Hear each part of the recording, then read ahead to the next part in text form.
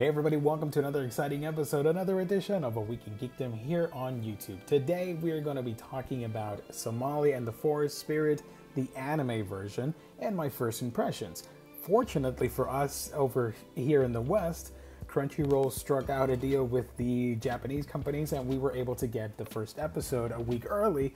So, yeah, awesome. Good for them. Good for us. Good for everybody that we can stream anime uh, before the Japanese broadcast. So, uh, what exactly is Somali and the Forest Spirit? You should know that it is based on a fantasy manga series by Yako Gureishi, and the adaptation it's done by Satelight and Hornets. I keep forgetting their name. Uh, the show is going to be running for 12 episodes, and in a nutshell, this is a story about this other world that is inhabited by a manner of strange creatures, more fantastical in nature, stuff like, you know, spirits, uh, ghouls, goblins, etc., etc. And we follow the story of our two main characters, a golem he is the spirit or the uh, guardian of the forest, and he stumbles upon a young girl named Somali. This young girl who is uh, a human. Now, humans are very scarce in this world. We're given an explanation in the first episode, but we'll have to see what exactly happened as the series progresses and we find out about the story behind this world and the rarity when it comes to humans.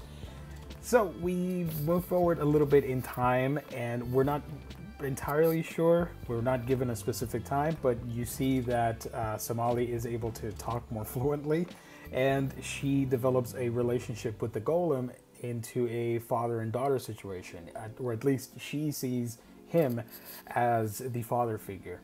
Which is interesting because, you know, she's a young girl, she's energetic, she's curious about anything that walks her way, and the golem, he is uh, emotionless. He doesn't know how to express emotion or the concept of it.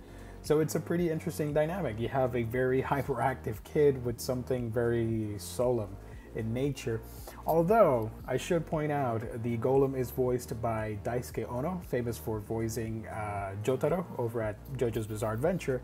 So I, it was I thought it was pretty funny that he, you know, even though he's not expressing any emotion, the character Somali is kind of being uh, annoying to a degree. You know, she is getting lost and, and wandering off, and you you sort of know that deep down that golem is gonna go like good grief. so I thought if he would have said that, it would have been a hilarious Easter egg. But alas, not no. I, I should point out that the golem does allow he doesn't mind that she sees him as his father figure it is a very caring relationship between the two, so I thought that was pretty heartwarming and wholesome. Eventually, they journey into this town, and inside there is the one minor nitpick I have with this series. And I know, I know, you're like, who's this guy talking about one episode and he already found something he doesn't like? I just thought it was pretty silly the way it was handled, but essentially, they go into this uh, tavern or restaurant, and in the bar, there's, I think it was a pink elephant type creature, and uh, the golem is asking about uh, if they've seen any humans around or something like that. And the creature goes, Hmm, well, how did that story go, go again with the humans? And then the waiter or the bartender or something uh, with the many arms, he goes, Well, let me tell you, and then proceeds to give give us the audience a huge exposition dump. I thought it was pretty lazy. It could have been done so much better. But that's really my only complaint. I thought the series started pretty damn great, of wonderful characters, a rich, vibrant background and landscapes and the city and everything looks right. Looks beautiful, the color tones and the backgrounds, it, it all looks pretty magical. Like you feel it's not our world, it's something beyond, you know? It has that ethereal vibe to it, especially in the forest. So uh, the character designs are great. I love how they did the golem design. I thought it was pretty cool how it's sort of mechanical in nature. And in a world post Baby Yoda, I think everybody will warm up to Somali and how cute, adorable, and precious she is. She has a very cute personality that a lot of people will enjoy watching her adventures and watching her grow up. in this strange world. Now, there is a really, really cool reason behind the her attire, which relates to the plot of the first episode, which I won't reveal, but I thought that was really cool. I like that scene a whole lot. And the episode itself, uh, it's it's a little bit of a laid back series.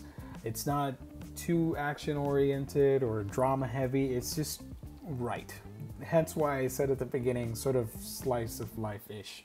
I'm interested in finding out uh, about all the other characters that I've seen in the promotional materials and posters and all that stuff, how they're going to go in and affect the story, and what uh, adventures uh, await our two protagonists. So I'm really excited about Somali and the Forest Spirit. Uh, this obviously was just a spoiler-free first impression, so I thought there it started off with a bang. I am very interested in your thoughts on the episode if you've seen it. Naturally, like I said, 12 episodes. At the end of the series' run, I will come back and do a full review of the show. I just wanted to uh, share some of my uh, quick thoughts on Somali and the Forest Spirit. Thank you guys so much for tuning in. As always, thank you for liking, commenting, subscribing. Hit the notification bell just in case. And uh, yeah, that's that's about it. Thank you so much. I've got to go. I'll catch you on our next episode.